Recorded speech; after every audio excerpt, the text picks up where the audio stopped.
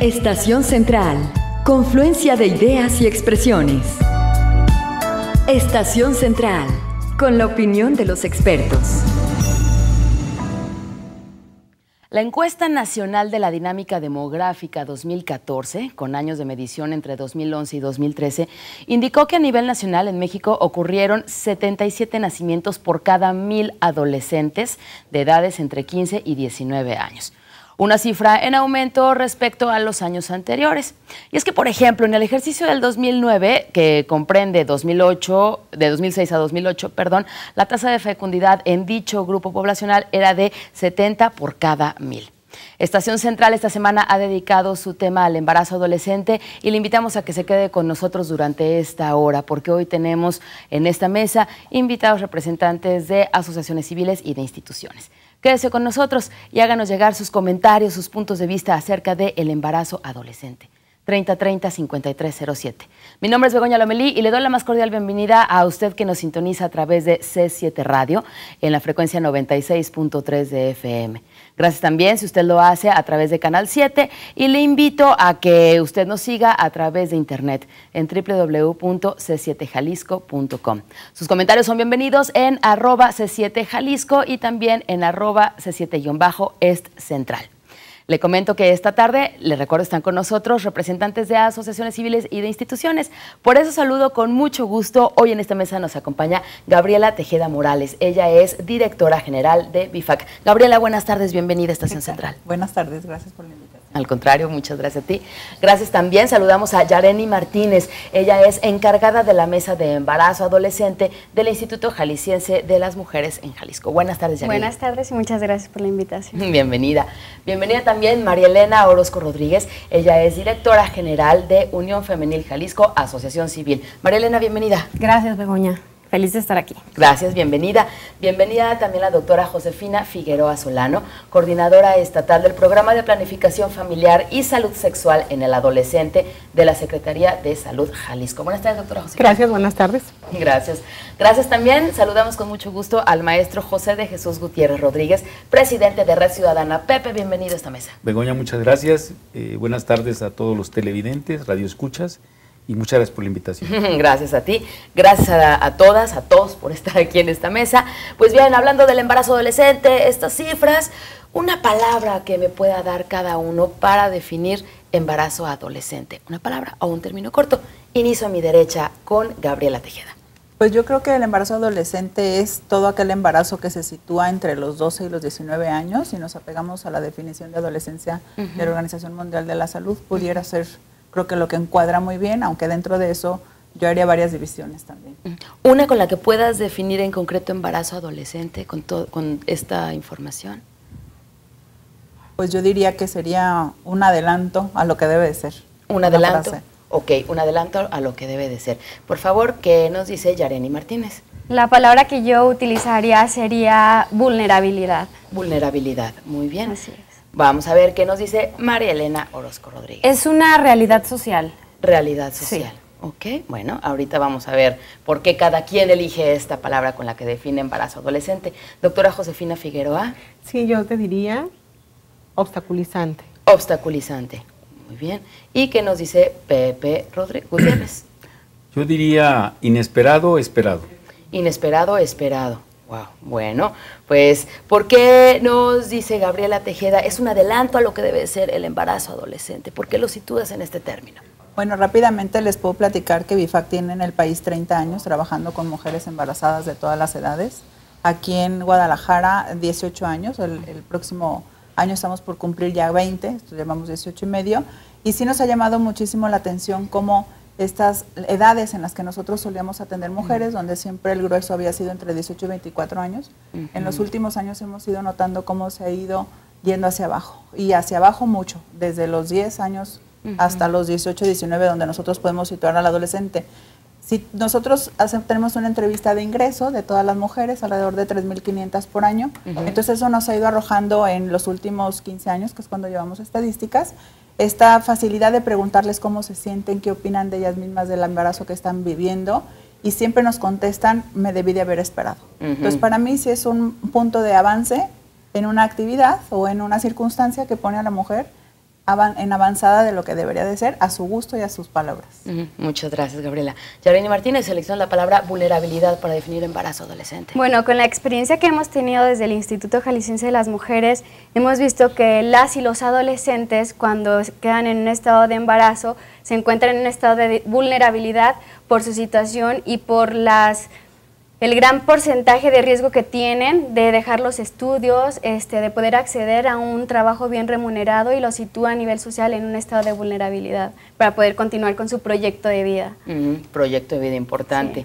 Muchas gracias, Areni. María Elena Orozco Rodríguez los entra como una realidad social. ¿Por qué, María Elena? Sí, porque nosotros trabajamos con, mujeres eh, alrededor de 40 años y alrededor del 80% de nuestras mujeres beneficiadas tuvieron hijos antes de los 19 años. Entonces la realidad es que lo permiten con sus hijos también. Y, nosotros les, les, hacemos énfasis en que no, esto no debe de suceder. Entonces es una realidad social porque se va, se va haciendo un, círculo vicioso y aparte va, va teniendo eh, rezago educativo en los niños. Eh, es un problema de salud pública también porque los niños eh, que nacen de mujeres de antes de 19 años tienen este, también problemáticas. Entonces, dentro de la, de la realidad social en la que estamos y en la que nosotros participamos como Unión Femenil es eh, pobreza, violencia, eh, hacinamiento en las casas. Entonces, es una realidad que sigue y que la familia lo está permitiendo porque ellos lo hicieron. Entonces, por eso lo... en realidad. Lo digo así, sí. Gracias, María Elena. Doctora Josefina Figueroa nos dice obstaculizante. Sí, yo me sumo a los comentarios de mis compañeras. Eh, comento esto porque nosotros en salud trabajamos mucho directamente con los chicos en proyecto de vida. Entonces, menciono obstaculizante porque en muchas de las ocasiones un embarazo llega a ser ese obstáculo que ponemos para que pueda continuar con su proyecto de vida, escuela, trabajo, sus sueños. Entonces nosotros siempre que estamos frente a los chicos hacemos el comentario, inclusive cuando sensibilizamos a personal de salud, ¿cómo te sientes cuando no cumples una meta? ¿Qué es tu sentir? Me frustro, me enojo, me deprimo y demás, justamente es el sentir de nuestras chicas adolescentes y chicos embarazados. Entonces, que, forman parte del embarazo. Por eso es que menciono esa palabra. Por supuesto. Gracias, gracias, Josefina. José de Jesús Gutiérrez, Pepe, ¿por qué lo defines como inesperado, esperado? Mira, inesperado porque muchas veces los chicos no esperaban este, que la chica saliera embarazada. Entonces es inesperado, la sorprende. Eh, en algunas otras ocasiones no. En algunas otras ocasiones, inclusive hay chicas que para retener al novio eh, se embarazan y buscando que, se fortalezca el vínculo, que se quede ahí. Y muchas veces resulta que al revés, sale irresponsablemente el chico y bueno, es inesperado el desenlace, ¿no? Pero esperado porque a mí me parece que en México todavía tenemos una carencia de una política pública, programas y acciones de gobierno eficientes, contundentes, de alto impacto, que sobre educación sexual. Nosotros tenemos educación sexual eh, a varios niveles. Informal, que empieza en la familia, informal, que es en los medios de comunicación, donde de alguna manera se promueve una visión de cómo es la relación entre los sexos, eh, y, pero de, una manera a veces irresponsable en los medios de comunicación. Eh, también, por, una, por otro lado, en la familia, que muchas veces vemos que la gran mayoría de la población mexicana obedece a una afiliación religiosa, eh, se promueve la visión de la sexualidad con pincitas y de preferencia no se toca. Pareciera que entonces mientras no se toque, este, no va a pasar nada y resulta que sí pasa. Y también hablo de los programas preventivos, porque a mí me parece que todavía no se le está invirtiendo lo suficiente en educación sexual, no solamente para esta situación, hay muchos más. Entre ellos inclusive habría que tomar en distintos factores, por ejemplo, eh, no nomás es cuando la chica, por una situación de mal manejo de su sexualidad con el chico, salió embarazada. También hay muchas chicas que salen embarazadas producto de las agresiones sexuales y entonces en ese sentido es muy lamentable. ¿no? Entonces yo creo que sí habría que hablar eh, de la necesidad de hacer una, educación sexual científica, trascendente, impactante, multidisciplinaria, cosa que en este momento no la tenemos. Bien, cuando hablamos de embarazo adolescente nos centramos en la chica, ¿no?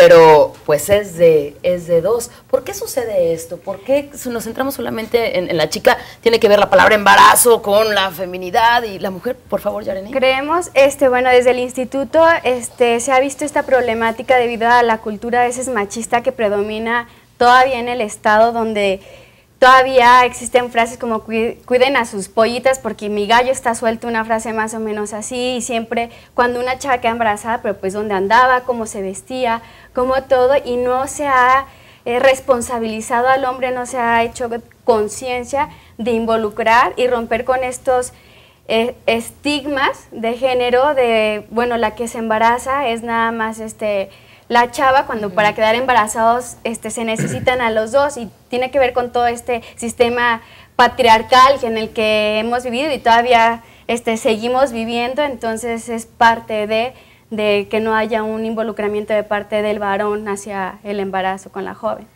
Gabriela. Y yo te diría que no nomás es la chica embarazada, sino es, como bien dice Yareni, que estoy consciente y testigo de que en el instituto se ha tratado de de que esta masculinidad también tenga un poco de responsabilidad, pero la verdad es que la dinámica familiar completa se altera. Aquí no es una cosa ni de una la que se embarazó, ni del que la embarazó, sino de una problemática familiar que va a lo social, porque afecta la dinámica de todo, afecta a los niveles escolares, afecta el que ya no pueden ser económicamente activas cuando lo tenían planteado, o activos cuando se involucra el chico, que también se le corta muchísimo su proyecto de vida cuando lo tienen porque no me dejarán mentir, pero creo que parte de, los causales de esos embarazos adolescentes, sobre todo en los más chiquitos, es justamente la ausencia de un proyecto de vida. Bien, vamos a ir a nuestro primer corte de regreso seguiremos hablando de el embarazo adolescente. ¿Se considera que es una problemática en Jalisco? ¿Sí o no? ¿Desde cuándo se considera una problemática?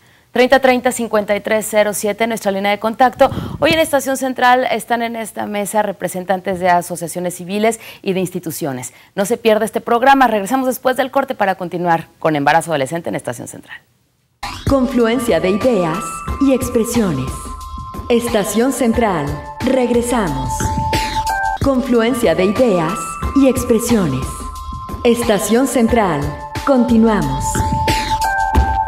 Preciso destacar que el 46.6% de los nacimientos a nivel nacional en 2014 ocurrieron en mujeres jóvenes de 15 a 24 años. 46.6%, es decir, casi la mitad de los nacimientos en México en el 2014. Estos son estimaciones de CONAPO. Y este, esta información está relacionada con nuestro tema esta semana, que es embarazo adolescente. Esperamos su comunicación 3030-5307. Como ya lo hizo María de los Ángeles Topete, de la colonia Miramar, ella nos dice, en una ocasión llevé mi hija a un ultrasonido de garganta y me di cuenta que todas las chicas que estaban ahí estaban embarazadas. En la actualidad hay muchos embarazos a una edad prematura.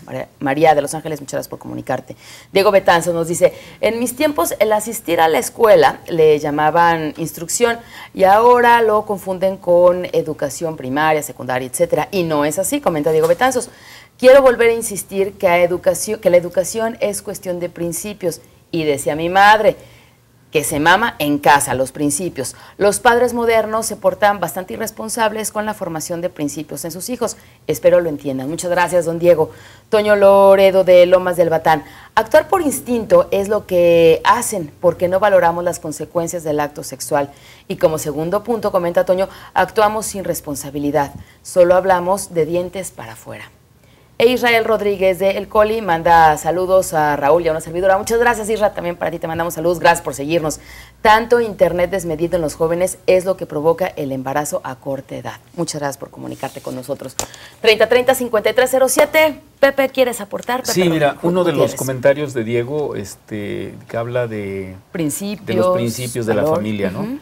Mira, este, dice que la familia no está al pendiente, algo así, ¿no? Y me parece que hay una situación que precisamente tendríamos que reconocer, que hoy las familias no son como las de antes. Hoy, por la cuestión del deterioro salarial, hoy muchos padres y también madres están yendo a trabajar y entonces conviven menos, eh, tienen menos oportunidades, menos condiciones de, estar cercano a los hijos y de promover ciertas eh, educación. Pero además hay una cuestión que es muy importante. ¿Quién nos educa para ser buenos padres? Conforme ha ido avanzando la ciencia y la tecnología. Y entonces no lo hay. Ahí, lamentablemente, en México carecemos de una política pública precisamente para la familia. Porque esta situación, por ejemplo, Hoy la gente está trabajando más, está dedicando tiempo a trasladarse de su casa al, trabajo, a la escuela, y no hay, entonces no hay mucho tiempo para estar cerca de los hijos. Pero además, en, la, en la cuestión de la prevención, no solamente porque generes un mensaje, eso ya es prevención. No, prevención implica el generar una acción que, impacte eh, en, la, en, la, en eliminar la presencia del problema o en reducir la frecuencia del problema. Entonces, a veces, lamentablemente, hemos tenido una política de prevención que, que es generalizada, ¿eh? es el suicidio y es otros muchos problemas que pareciera como que información es prevención y no. De hecho, tan es así que inclusive hay investigadores como Osmar Mansui en la Universidad de Guadalajara que, ha demostrado que inclusive jóvenes universitarios, a pesar de que han llegado a este nivel de educación superior, siguen teniendo prácticas de alto riesgo, mm. no solamente para el embarazo, sino para otros problemas. Entonces, ahí sí creo que es un llamado de atención a toda la sociedad, a los padres de familia, a las instituciones, a las instituciones educativas, para hacer más eficiente nuestro trabajo en este punto que efectivamente, como mencionaban mis compañeras, es toda una serie, tiene una serie de problemas del proyecto de eh, todo el mundo tiene un proyecto de vida, ahí difiere un poquito. Lo que pasa es que a veces es un proyecto de vida inconsciente, difuso y no integral. Porque a veces pareciera que el proyecto de vida es nada más la escuela y el trabajo. No, tiene que ver con su salud.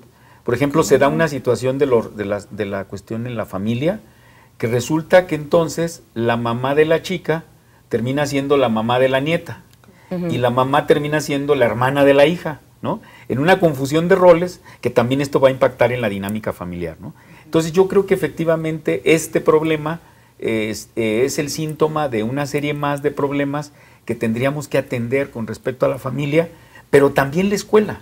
La escuela creo que tenemos que ser más eficientes, los procesos educativos, si queremos que al menos que la educación básica, eh, media básica y media superior, tenga esta, esta promoción de valores, de cultura general para la vida. Eh, y, bueno, yo creo que en esta área sí es muy cuestionable el papel que estamos cumpliendo las instituciones educativas.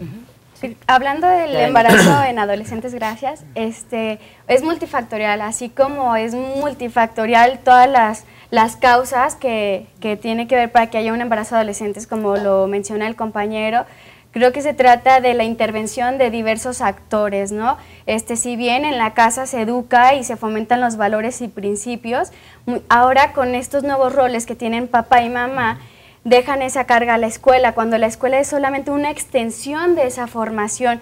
En eso estoy de acuerdo con usted, pero creo también que tiene que ver una sinergia de esfuerzos entre instituciones públicas, organismos no gubernamentales o asociaciones civiles padre y madre y también con el joven. Tienen que interactuar todos juntos y es como lo muestra ahora la Estrategia Nacional para Prevenir los Embarazos en Adolescentes que presentó el, el presidente Enrique Peña Nieto en el mes de febrero, donde muestra acciones claras y concretas en las cuales trabajar con todos estos diversos actores. Entonces es un gran esfuerzo. La verdad que fui a México, a Lin Mujeres, a checar esta estrategia y bueno, ya veremos los resultados. Incluso, bueno, aquí hay dos personas que han estado en la mesa interinstitucional para prevenir los embarazos del instituto y hemos hecho ya diversas acciones involucrando también al sector educativo, por ejemplo, a, personal docente, papá, mamá y al adolescente, porque muchas veces los papás no saben cómo tocar los temas. O dicen, mi hija, ella no siente deseo y lamentablemente a través de la historia la mujer se le ha este, puesto en un lugar como no deseosa o no, no ella no, no, requiere este, tener este placer sexual. La frase de date a desear y olerás a poleo, todo este tipo de, de cultura en la que vivimos, entonces se tiene que actuar integralmente o de manera transversal, este, con papá, mamá, maestros, con instituciones públicas. Digo, los organismos de la sociedad civil los admiramos por su gran labor que hacen y son un gran apoyo y es crear sinergia entre todos los actores para lograr mejores resultados y no descubrir el hilo negro. La encuesta nacional de juventud mostró una, este, mostró una encuesta donde dice que el 49% de los jóvenes que ellos entrevistaron no utilizó un método anticonceptivo porque no sabían que iban a tener relaciones sexuales. Entonces lo que te muestra es que están actuando por impulso, porque el 80% te dice que conoce un método al menos un método anticonceptivo. Entonces ahí también tienes que trabajar en hacer conciencia y una corresponsabilidad del chavo. Muchas veces este, en el tema de educación integral de la sexualidad, es que si tocan el tema en las escuelas, si ven el tema de sexualidad, van a hacer que tengan relaciones sexuales. Al adquirir un derecho, adquieres una responsabilidad y una obligación y es hacerlos parte de este ejercicio de sus derechos. ¿Qué pasa cuando por tradición o por hábitos de generación en generación, como decía María Elena al principio, pues la mamá es la que dice, claro, a los 14 años ya es momento de que tengas hijos. Estoy hablando de comunidades, de zonas rurales eh, fuera de la zona conurbada o incluso alrededor de la zona conurbada de Guadalajara. Tiene, tiene mucho que ver, sí, gracias. Tiene mucho que ver que no tiene, que los papás no tienen eh, esa educación y ese, ese concepto, como decían también, eh, de que los jóvenes no tienen la responsabilidad. No nada más está en los papás, sino también en los jóvenes, porque tienen ellos un deseo de sueños y de, pensamientos fantásticos. Entonces, creo que esto va mucho, eh, mucho tiene que ver falta de recursos. Los papás tienen que salir a trabajar, como lo decíamos. Eh, no saben cómo atender al, al, joven porque llega y el, el, joven se siente omnipotente o, o, decir todo lo puedo hacer o mis consecuencias, no, no, hay consecuencias de mis actos. Entonces, creo que nos ha pasado y en la experiencia de la Unión Femenil es, eh, nosotros hablamos con las mujeres y le decimos, tú quieres lo mismo que estás, que estás pasando ahorita con tu hija y entonces dicen que no, como la, la, la pregunta que les hacen de lo hubieras hecho en este momento y ellos dicen no, creo que lo, lo, lo, comentaban. Entonces, creo que eh, la experiencia que tenemos es desde tu ámbito y desde tu eh, trinchera como asociación civil en la gente, así sea poca, es ver con los papás eh, cómo, cómo salir adelante con los hijos adolescentes, ¿no? Porque no tienen experiencia, no tienen madurez y también ver que, no ponerlos en la misma situación en las que ellos, en las que ellos estuvieron. Otra cosa la que, de la que también comentaban y me gustaría también decir, que en el, en el proyecto de vida muchas veces, aunque sí lo tienen, no saben ni siquiera a qué se quieren dedicar productivamente. En la asociación nosotros hacemos diagnósticos para vocacionamiento productivo y señoras de 40 años no saben lo que quieren hacer. ¿Por qué? Porque a los 12, 13 años tuvieron a su hijo y nunca estudiaron ni la preparatoria, a veces ni la secundaria. Entonces, creo que también eh, el hacer el proyecto de vida, no nada más en si me quiero casar o no, sino que también qué, a qué me quiero dedicar para ver qué, qué voy a hacer, ¿no? ¿Qué voy a hacer de mi vida? Bien, Gabriela Tejeda, y después vamos a corte y regresamos con Pepe y con Josefina. Pues abonando un poquito a lo que Yaneni nos comentaba de la familia, creo que sí es vital y es la misma familia a veces la que entorpece que en las escuelas se avance. Yo estaba revisando hace poquito una, justo un estudio que hizo el Instituto Jalisciense sobre lo que contestaban los jóvenes ante un montón de preguntas relacionadas pues con su juventud, su sexualidad, eh, los valores que ellos reconocen y me llamó muchísimo la atención que el, porcentaje mayor de de dónde obtenían información sobre su sexualidad y que implica todo, pues no no no nomás la genitalidad, sino su sexualidad en general, era en internet y luego con los profesores. Entonces, pues tenemos ahí ya un gran trabajo por hacer en, los medios electrónicos. Yo hoy te puedo decir que el 74% de las mujeres y jóvenes hombres también que se comunican con BIFAC a nivel nacional están llegando a través de redes sociales, a través de la página web, a través de otras páginas. Entonces sí están buscando la información ahí, creo que a veces no es la más adecuada. Bien, vamos a nuestro siguiente corte. De regreso seguiremos hablando de quién es responsabilidad la educación sexual de niños, de jóvenes, de adolescentes. 3030 5307. Regresamos para seguir hablando de el embarazo adolescente con nuestros invitados. Son representantes de asociaciones civiles y de instituciones. Regresamos pues del corte Estación Central. Confluencia de ideas y expresiones. Estación Central. Regresamos. En Estación Central estamos hablando esta semana de el embarazo adolescente. Hoy nos acompañan en esta mesa Gabriela Tejeda Morales, directora general de BIFAC. También está con nosotros Yareni Martínez, encargada de la mesa de embarazo adolescente del Instituto Jalisciense de la Mujer en Jalisco. Está también con nosotros María Elena Orozco Rodríguez, directora general de Unión Femenil Jalisco, Asociación Civil. También nos acompaña en esta mesa la doctora Josefina Figueroa Solano, coordinadora estatal del Programa de Planificación Familiar y Salud Sexual en Adolescente de la Secretaría de Salud de Jalisco. Y también nos acompaña el maestro José de Jesús Gutiérrez Rodríguez, presidente de Red Ciudadana. Súmese usted a esta mesa a través de la línea telefónica 3030-5307 y díganos de quién es responsabilidad la educación sexual en niños, en niñas, en adolescentes. 3030-5307. Esta misma pregunta yo la planteo en esta mesa. ¿De quién es responsabilidad de educación sexual de niños, niñas, adolescentes? Pepe, toma la palabra. Mira, de hecho, hay otra cosa que hemos analizado poco, que es el papel que juegan los medios de comunicación. Este, si ustedes recuerdan alguna película o alguna serie, este, ¿cuántas veces ha sucedido que en el encuentro en una pareja, un hombre y una mujer, a veces se encuentran en el bar, apenas intercambian unas cuantas palabras y la siguiente escena ya están en el departamento de él o de ella este, teniendo, teniendo sexo, ¿no? Pues las películas o las series que quieras. Y además, y además, cuando han visto que en una película de estas, él o ella saquen su preservativo y dicen, nos vamos a proteger. No pasa, no pasa. Mm. Entonces, de hecho, y luego hay otra cosa que también es muy, muy importante. Hasta ahora hemos hablado de sexualidad, pero la sexualidad tiene que ir ligada a la educación en el amor. El amor no nomás es un sentimiento, el amor, eh, ya los tiempos en que el amor lo tocaban los poetas y los artistas, etcétera, eh, ya pasó. Hoy la ciencia está investigando el amor. Mm. Entonces, hoy hay, de ahí se desprenden investigaciones y, consecuencias para la prevención y para la promoción este, en el amor. El problema es quién nos educa para la sexualidad y el amor, porque van ligados. ¿Cuántas chicas no han salido embarazadas porque luego llega él y le dice que, si no lo quiere le tiene que dar la prueba del amor? Y entonces ella pues dice, bueno, pues sí, cierto, ¿no? Entonces, eso creo que es muy importante. Luego, con respecto a lo que mencionaban mis compañeras, este, hay un aspecto muy importante que luego los papás promueven como que mi hijo, sobre todo mi hija, que luego eso, como que al hombre se le permite, como que el hombre todavía puede ser más activo y la mujer pasiva, ¿no? Pareciera que entonces la mujer, como decía Yareni, este, como que no, no tiene necesidad, ¿no? La sexualidad es un derecho y una necesidad de cualquier persona. Lo que pasa es que es muy importante saber educar para ejercer libre inteligente y responsablemente ese derecho del acceso al amor y la sexualidad. El problema es que tenemos muchas, muchas, este, muchas situaciones que no hemos abordado suficientemente. También otro elemento en lo que, en lo que determina la actitud y los actos eh, de la sexualidad de los chicos viene siendo la relación de los iguales. Muchas veces los papás no educan, no orientan, no platican de ese tema, pero sí lo platican los amigos o lo platican a través de Internet.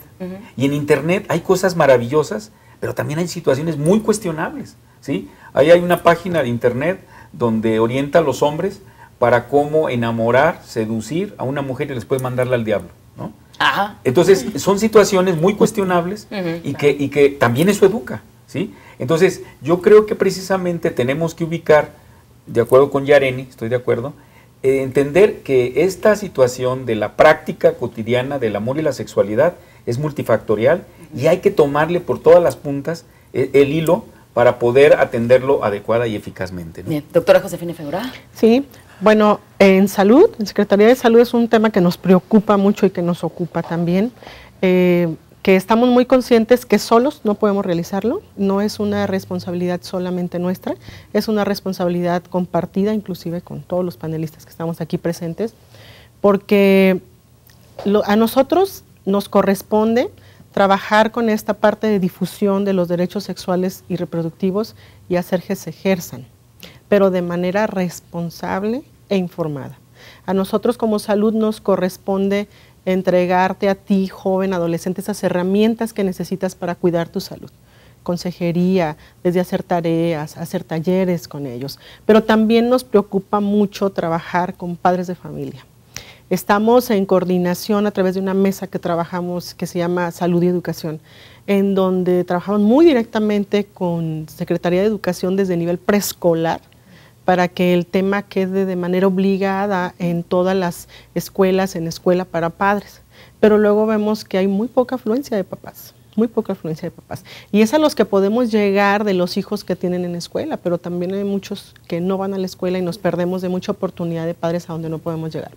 Entonces, esta parte de vinculación nos queda súper clara de que no podemos realizarlo solos y creo que así podemos alcanzar grandes cosas, porque si no todos de manera independiente, pues no lo vamos a hacer. Que es un problema, sí, y es un problema muy grande el que tenemos en este momento, pero porque también la situación que está ocurriendo, pues en este momento, de acuerdo a la curva de población, tenemos la mayor cantidad de adolescentes de la historia en este momento mm. concentrada. Hace un momento hablábamos que qué pasa con esa situación de las adolescentes, sobre todo en comunidades muy, rurales, que este, esta situación de embarazo lo ven como algo muy natural, como algo muy cotidiano, inclusive ya tienen 16, 18 años, oye, y como que ya se pasó, porque ya a esta ya debió de haber tenido hijos, porque así fue mi abuela, mi madre y así por generaciones. Sin embargo, en este momento que analizamos cuáles son los municipios más repetidores de embarazos en adolescentes, pues muy preocupados, porque están concentrados en lugares que ni nos esperábamos y que es zona metropolitana. Por supuesto que hay mayor cantidad de población concentrada, pero sin embargo, que como cifras sí nos dice muchísimo.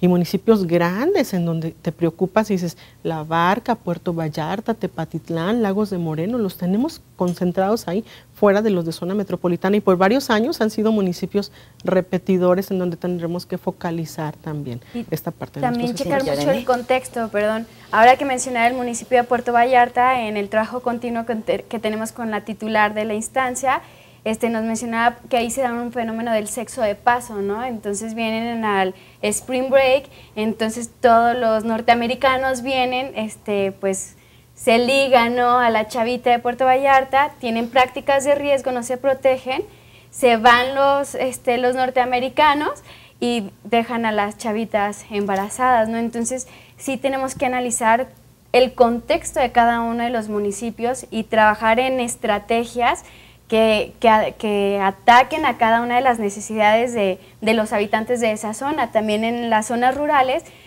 los roles de género, ¿no? La mujer nace, se reproduce y muere, ¿no? Está para tener hijos. Digo, aquí en la, en la sociedad, aquí en Guadalajara, si no te casas también ya a los 30, 35 está quedada. Este, o no realizada. O no realizada, o que la maternidad está muy ligada si eres, te realizas como mujer, cuando debe ser una opción decidir ser madre o no.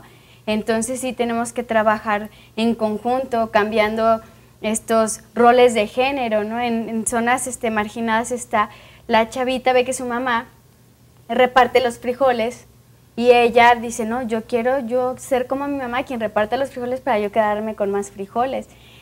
¿Qué es lo que buscan? Su novio, este, se, se van con el novio para ella ser las dueñas de la cazuela cuando tienen hijos se dan cuenta que la que menos se queda con frijoles es la mamá. Entonces le llaman el fenómeno de la olla de los frijoles, ¿no? ¿Qué es lo que pasa? Pues yo me quiero salir ya de esta situación de mi casa, mejor yo hago mi propia casa y pues se dan cuenta que es la misma situación. Vamos con Gabriela Tejeda. Yo creo que también esto, como hemos comentado, ya es algo muy multifactorial.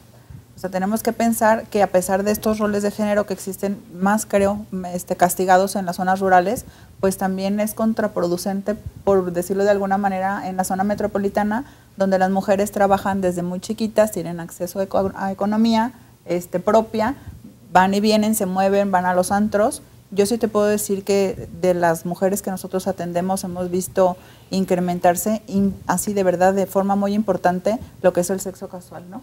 Un poco lo que comentabas en Puerto Vallarta, aunque no haya spring break aquí en Guadalajara y, en, la zona conurbada, vemos como eh, quien resulta con un embarazo es pues porque fue una fiesta y porque no tenía planeado, ¿no? Que creo que se mencionó al principio del programa. El 90% de las mujeres que entrevistamos nosotros conocen de algún método de anticoncepción. Y dicen no haberlo usado porque no lo tenían planeado, porque no lo acostumbran a usar o simplemente porque fue un sexo totalmente casual. Y eso era pues mucho menos visto hace cinco años probablemente. ¿no? y después Pepe, por favor Marilena. Eh, creo que también es responsabilidad del joven en, motivarse y a los papás eh, motivarlos a realizar sus sueños y a, seguir lo que ellos quieren, porque a nosotros nos pasa mucho que nos dicen, no, es que ya lo mandé a trabajar porque quería ser, no sé, estudiar tal cosa o ser médico y yo le dije, nunca vas a poder. Entonces creo que también es responsabilidad de los dos, también del joven decir, y ahora con los medios este, sociales, de ver que los jóvenes tienen más, más ámbito como para eh, hacer cosas diferentes, nuevas. Entonces creo que es responsabilidad de los dos y también de toda eh, salud, educación, que no sea una consecuencia dejar de, la deserción escolar, sino que sea una prevención para, para este tipo de problemas. Ok, por favor, Pepe. Sí, mira, nada más este, volver un poquito precisamente que también tenemos que promover este, una visión distinta de lo que es la mujer.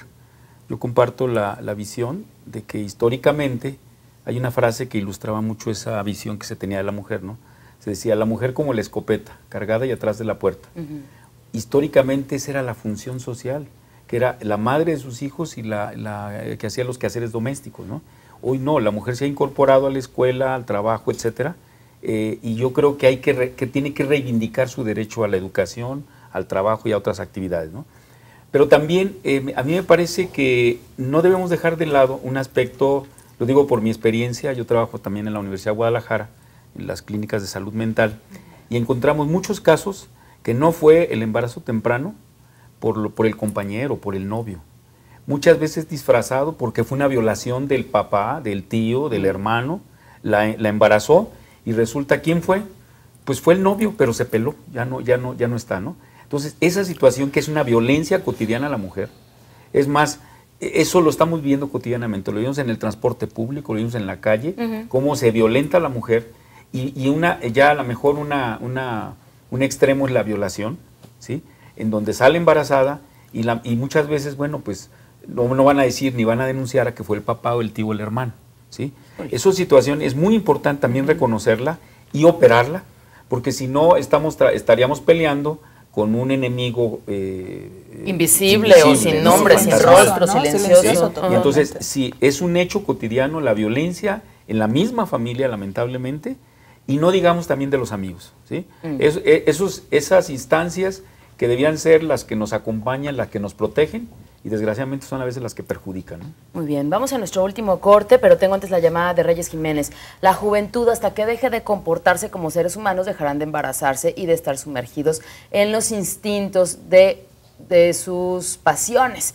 Deberían de comportarse como personas razonables, gente que sabe pensar, saben cómo matar una gallina sin derramar sangre y cómo hacer salsa de tomate en molcajete sin embarazarse. Muchas gracias Reyes por comunicarte. Vamos a nuestro último corte, de regreso hablaremos una estrategia que sea eficaz para ayudar a disminuir la incidencia del embarazo adolescente. 3030 5307. Regresamos con esto aquí a Estación Central. Confluencia de ideas y expresiones. Estación Central. Regresamos.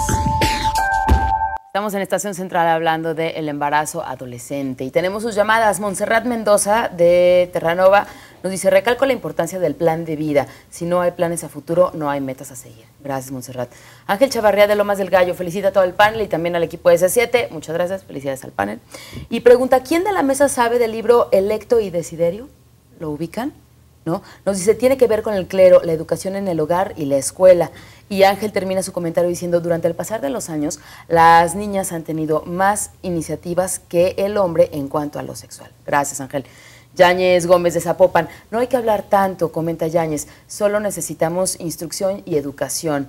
Nos prohíben hablar de política y religión y es lo principal que debemos de saber. Deberíamos prepararnos solamente para entender las consecuencias de la sexualidad. Muchas gracias a Yáñez Gómez por comunicarse. Carolina Pinedo de Lomas de San Miguel. La parte fundamental de todo es la vinculación con los papás. Los hijos no se deben sentir abandonados, aunque los papás lo hagan por trabajar. Eso es fundamental. Muchas gracias a todos por comunicarse con nosotros.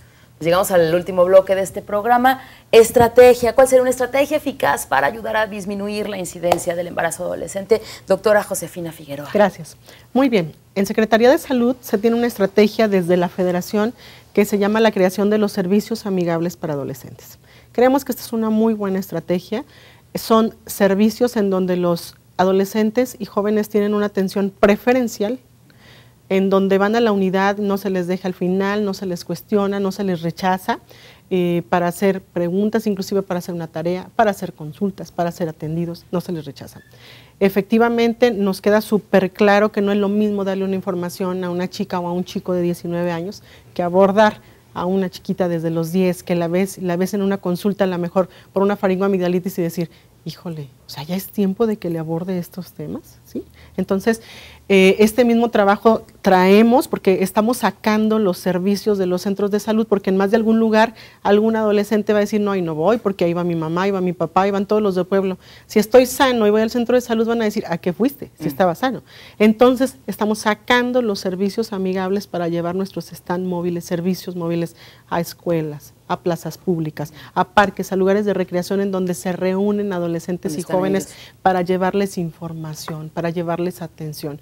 Inclusive si se requiere el caso, poder llevar métodos anticonceptivos previa información, consejería, que esta es la parte de sus derechos también. Entonces, esta estrategia de los servicios amigables, que igual yo creo que lo va a comentar Yareni, viene en la Estrategia Nacional para la Prevención de Embarazos en Adolescentes y que con todo nos sumamos en, en, Secretaría de Salud y que no trabajamos solos, trabajamos con maestros, inclusive capacitamos a maestros también para que se sumen en esta tarea. Bien, muchas gracias. Yareni, aprovechando.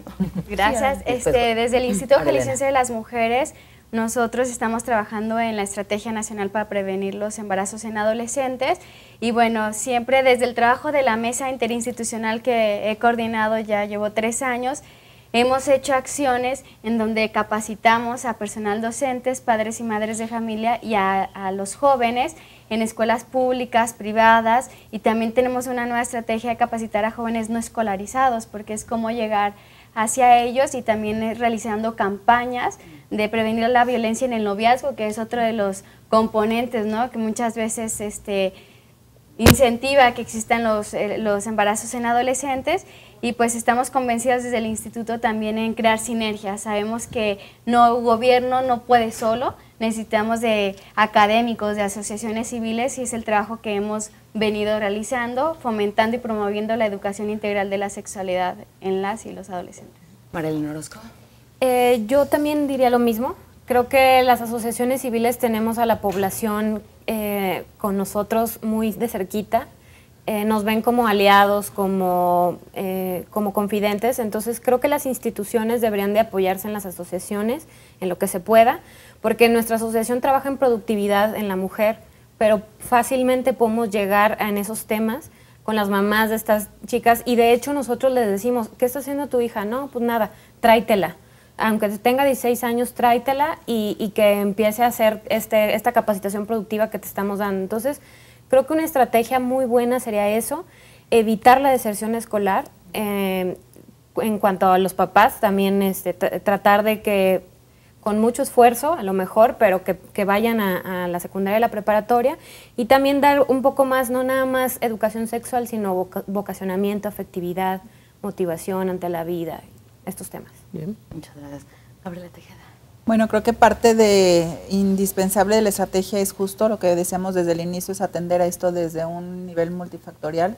Creo que tenemos primero lo que comentábamos hace un momento, desagregar a los grupos, porque un grupo de adolescentes a tratar de entre los 10 a los 20 años es muy, muy grande y creo que el tipo de educación y prevención que se debe trabajar con ellos es diferente, el abordamiento creo que también es diferente y que de alguna manera meter a los papás a estas escuelas de padres que tanta falta hacen, no nomás para hablar de sexualidad, sino de eso, de que si tu hijo ya tiene un proyecto de vida o creces tú con un proyecto de vida que está dentro de ti pero no lo conoces, pues hay que descubrirlo, ¿no? Eh, trabajar en la afectividad, en la educación también de la afectividad, porque yo creo que muchas mujeres de cualquier edad, aquí no me estoy refiriendo a los adolescentes, caen en un embarazo inesperado o no planeado por una, una, necesidad de afecto que no encontraron en casa, con los papás, con la familia, con los hermanos y finalmente pues esa es una cualidad de la mujer que le hablan bonito, le prometen muchas cosas y, y no la creemos. Entonces creo que hay que trabajar muchísimo en la prevención, en la comunicación en casa. Muchas gracias, Gaby. Pepe Gutiérrez. Sí, bueno, yo diría que como conclusión a mí me parece que es fundamental reconocer que cualquier ser humano tiene un derecho aunque una responsabilidad de ejercer eh, la sexualidad y el amor. Y que entonces lo consecuente es eh, educar para hacer un manejo, un ejercicio inteligente, responsable, placentero del amor y la sexualidad, dependiendo la edad, irse, irse integrando a estas, a estas situaciones. ¿no? Para eso eh, la propuesta sería que sea un, planteamiento integral, de tal manera que sea multidisciplinario, de tal manera que se rescaten todos estas, estos puntos rojos que está viviendo el embarazo temprano para poder buscar de una manera muy creativa y además inyectarle más recursos, porque los que todavía, los que hay, todavía son insuficientes. Yo creo que en la cuestión de la salud no debemos reparar, creo que es muy importante, yo prefiero que gastaran más recursos en salud, en salud mental y en otros temas, que a veces los sueldos de los, sueldos tan altísimos de los funcionarios. Muchas gracias, Pepe. Eh, a la pregunta, ¿crees que el embarazo adolescente es una problemática en Jalisco? Responde a arroba C7-es central. Gabriel González nos dice, no es una problemática, es un problema de salud pública y educación. Muchas gracias, Gabriel. Y Fernando Alfaro nos dice, el hombre llega hasta donde la mujer quiere. Bien. ¿Es posible un consenso entre quienes están involucrados en la educación sexual, hablamos de políticas públicas, o sea, gobierno, padres de familia, escuelas, los jóvenes, los medios de comunicación, porque en esta mesa se ha dicho y en las mesas anteriores que todos tienen una parte y como decía Pepe, bueno, pues jalar los diferentes hilos, pero llegar a un consenso y, retomo también una frase que decía Gaby, pues que ves que los papás son los primeros en, bloquear, ¿no? Que, que, la educación sexual llegue a los, a los jóvenes cómo llegar a una especie de consenso donde todos o la mayoría jalen al mismo puerto. Yo sí creo que tenemos que encontrar en las coincidencias, eh, incluso en el sector privado, en el sector público. Sabemos que todos tenemos el abordaje de las problemáticas de diferente este aspecto, pero sí creo que coincidimos en muchísimas cosas y creo que a lo mejor lo que ha faltado un poco es eso, trabajar en las coincidencias y no quedarnos mm. nada más con lo que yo hago, yo pienso, yo he analizado, sino aportarlo a estas mesas de trabajo se me hacen maravillosas, creo que pueden aportar muchísimo y no olvidar que tenemos unos factores de riesgo también en los que urge trabajar, que es alcoholismo y drogadicción, que creo que están siendo factores determinantes en el embarazo entre adolescentes. Coincidencias. ¿Alguien más quiere aportar? Pepe. Bueno, yo creo que si bien entendí, creo que todos coincidimos la importancia de la educación, nada más en sus distintos niveles, donde la escuela tenga que hacer, bueno, primero los padres, ¿no? Los padres, para empezar, la familia tenga la responsabilidad y la capacidad, la capacitación para poder educar adecuadamente. La escuela, también tratar de incidir más, este, ser más críticos en el caso de los medios de comunicación. Este, me parece que también hay que abordar la cuestión de los amigos, otros problemas asociados a esto, como el consumo de alcohol consumo de drogas y también la violencia. ¿no? Creo que son aspectos fundamentales y para eso la palanca de esto es la educación. Finalmente, ¿alguien más que quiera en un minuto aportar? Sí, yo quiero decirles que la, la comunicación y hablar con las y los chicos es importantísimo. Y el mensaje para papás y para todas las personas que nos escuchan es que hablen con ellos, que compartan, porque mientras más se queden en silencio y les transmitan esos falsos mitos, miedos, los chicos y las chicas van a estar en el desamparo y van a ser más vulnerables. Habrá que hablar del tema. Gracias, Josefina. Yareni y después eh, Marilena. Eh, comparto con la doctora Josefina, este, educar a los jóvenes sobre esos derechos y bien este, promover esos derechos, pero que los promuevan con el ejercicio de su responsabilidad de una manera informada y con información científica, ¿no? Muchas veces en las escuelas, en los textos te ponen la información a medias, entonces que los padres y madres de familia promuevan esta, esta educación y estos valores y principios. Y creo que sí se puede, sumando esfuerzos, todos desde nuestras trincheras podemos lograr disminuir esta... Gracias, Yareni. Muchas gracias. María Orozco, finalmente. Sí, yo creo que la comunicación es muy importante con los papás y que los amigos también sean buena influencia, pero creo que la comunicación ahí está el, el meollo. Muchas gracias. también la gracias a todos por habernos acompañado. Porque yo puedo comunicarme muy bien, pero ¿qué? ¿Qué le puedo comunicar? Nos vamos, muchas gracias, por haber gracias. gracias a todos, gracias Pepe. A usted lo esperamos mañana después de las 5 de la tarde aquí en Estación Central. Cerramos este tema embarazo adolescente con los periodistas. Hasta mañana, gracias. Estación Central.